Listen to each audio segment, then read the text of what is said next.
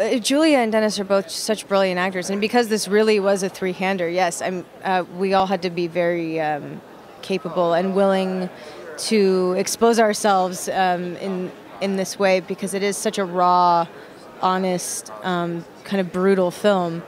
Um, so you needed people that really understood the subject matter and that were real. Uh, um, knew that it, it, needed to be handled with care, and I think everybody, including the directors, all knew that we had to do this right and um, really work together um, to pull it off. And, and, I, and I think we did. I think everyone was just perfect for, for their roles and did a wonderful job. So.